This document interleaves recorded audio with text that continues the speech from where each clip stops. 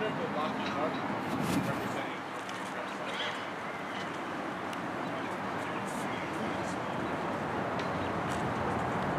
from, a, from an economic standpoint, we see this as a great partnering with the great state of Arkansas. We believe we have a very competitive offering. As Senator Cotton mentioned earlier, the, uh, the Department of Defense is bringing mobility, protection, and the capability to uh, provide payload to the Army and the Marine Corps. EMD testing, Lockheed Martin has proven superior results in all these categories.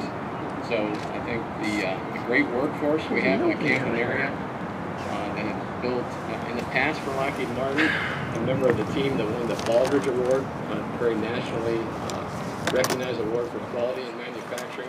Those components all come together in a perfect combination to put us in a great spot